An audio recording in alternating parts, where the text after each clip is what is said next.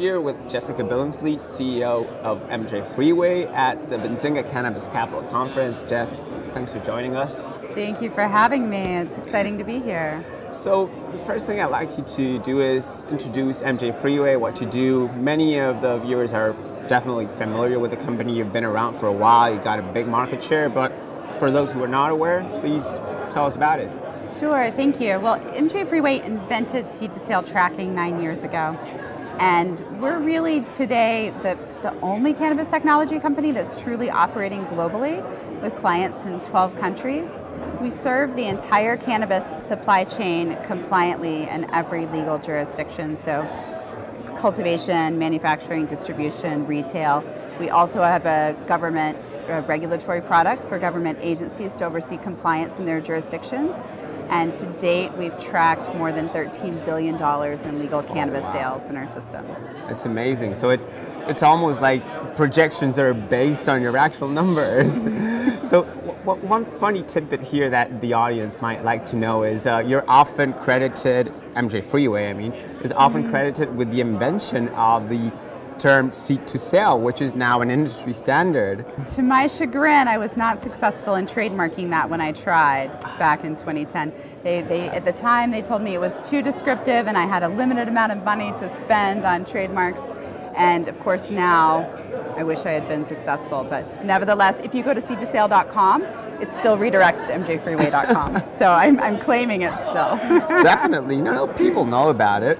So, um, one thing that happened uh, late last year, mm-hmm. you announced you were merging with MTech Acquisition Corp. It was a NASDAQ traded company. Uh, and the idea is for you to uh, soon be trading on the NASDAQ as a combined pubco. Um, and interestingly enough, it should become the first female led cannabis company to trade on the NASDAQ. It's you and Tahira Rahmatullah. Uh, well, we're very excited about the transaction. We announced that the name of the holding company will be Akerna, oh. A K E R N A, once we trade, and Tahira That's and I will both serve on the board, and I'll continue uh, to serve as CEO of Akerna post close. MTech, of course, currently trades on the NASDAQ under MTEC. They're a blank check company, so yeah. it's not. I just want to be clear, it's not a currently operating entity. Uh-huh. It's a, a deal team that raised the funds in trust for the purpose of merging with a company like ours, yeah. and then we will become the surviving entity post close. Can you tell us a little bit about your international presence and plans to expand internationally? So, we see international as a big driver for growth and economic growth in cannabis moving forward. Globalization, consolidation, companies trading and import and export beginning. And we think it's very important to be helping shape that conversation from a regulation point of view. I mean, MJ Freeway is absolutely the backbone upon which the industry is built, enabling regulation, compliance, and taxation. And we're helping shape that conversation internationally as well. I'm really excited in particular about Colombia and what is happening there. The folks there are, are using our system to run their operations. I'm excited to see how, how that market continues to evolve. And of course, Europe is, after many years of talking, starting to make some quick strides yeah. toward, toward really operating.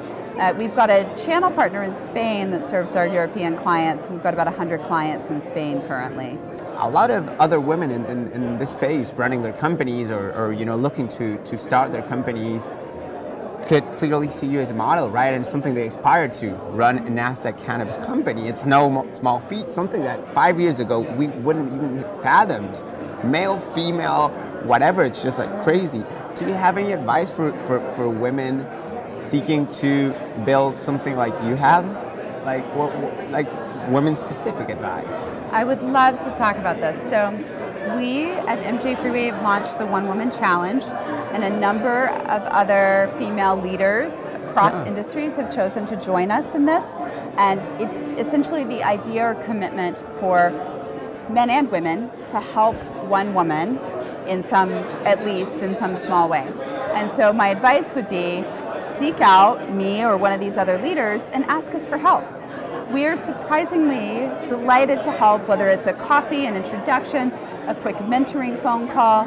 But what you'll find, especially in cannabis, are women actually really want to help each other. Yeah. And sometimes it's as simple as somebody raising their hand and saying, hey, I could use a little help on direction or I need an introduction here, and we're more than happy to do so.